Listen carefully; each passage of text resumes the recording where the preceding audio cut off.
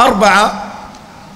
محمد مصطفى قال محمد بن هادي قال من حج ولم يزر الشيخ ربيعا فما تم نسكه أو فما تم نسكه. الأولى النسك فاعل والثانية النسك مفعول به. يقول الشيخ محمد ابن هادي المدخلي ده في السعودية طبعا. آه، يقول آه، عن الذي يأتي إلى مكة ولم يزور الشيخ ربيع هذا خاسر. إلا ده قال سلفته فيها شك. فقال إذا جيت مكة لازم تزور إلا قال إلا قال إذا إذا كان عندك عذر. معناه جعل زيارة ربيع شنو؟ واجبة من الواجبات. بعد ذاك قال يقول لك عندك رأي في المدخلي في المخرج ذاته عندي رأي. خليه المدخلي ودانا الطكلي طريق واحد يكون عطل يقول لك ها؟ يعني عندك راي في محمد بن مدخلي في المخرج جاته عندي. خلي المدخل انت بتلعب ولا؟ لك وما أظنك أن تقوم يا عاصر طبعا عنده حاجات بيتم بها الكلام.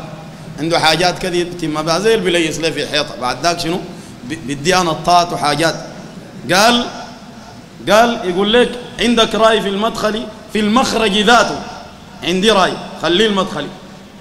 والكلام ده باطل من وجهين.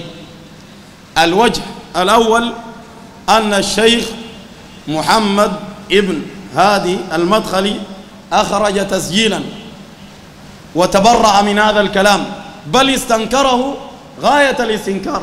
قال أنا أظن حتى المجنون لا يقول هذا. هل يتصور أن مسلما عاقلا يقول هذا الكلام؟ قال أنا أظن حتى المجنون لا يقول هذا. قال ولكن يريدون تشويه صورة شنو؟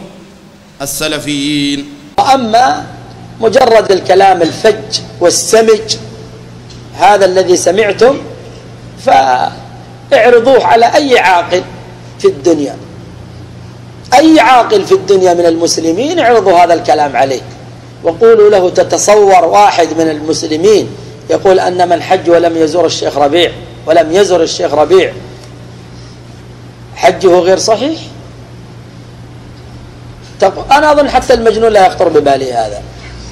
ولكن هذا كله من المبالغ المبالغة في تشويه صورة السلفيين.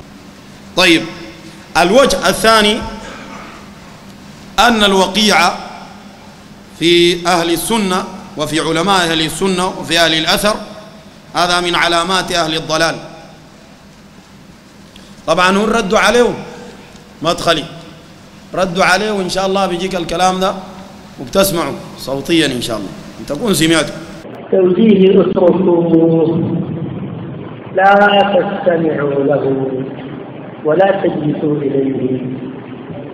فإن أصحاب رسول الله صلى الله عليه وسلم ما حصل بينهم هذا. طيب. إن ذكر من علامات أهل الضلال الوقيعة في أهل الأثر. ده كتاب اسمه لم الدر المنثور من القول المأثور في الاعتقاد والسنة. جمع أبي فريحان جمال بن فريحان الحارثي. ده من تلاميذ الشيخ الفوزان. وحتى هنا قال قرأه معالي الشيخ الدكتور صالح بن فوزان بن عبد الله الفوزان. عضو هيئة كبار العلماء وعضو اللجنة الدائمة للإفتاء. طيب. قال شنو؟ علامة علامة أهل البدع. صفحة خمسة وثمانين وصفحة ستة وثمانين والتماشي.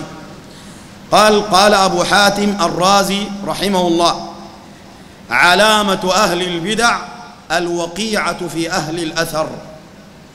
علامة أهل البدع الوقيعة في أهل الأثر والكلام ده أصله ذكر اللالكائي وذكره الصابوني في عقيدة السلف أصحاب الحديث.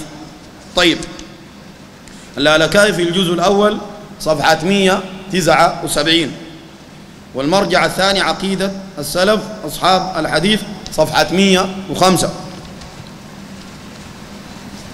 قال الصفحة اللي بعدها ذكر كلاما بعد ذاك الصفحة بعدها قال قال أبو عثمان إسماعيل الصابوني رحمه الله وعلامات البدع على أهلها بادية ظاهرة وأظهر آياتهم وعلاماتهم شدة معاداتهم لحملة أخبار النبي صلى الله عليه وسلم واحتقارهم يعني وشدة احتقارهم. واستخفافهم بهم. يحتقرون أهل السنة ويستخفون بهم. طيب بعد ذلك ذكر كلاما. بنجي ثاني نذكر بعض المواضع من علامة أهل البدع التي يقع فيها محمد مصطفى عبد القادر.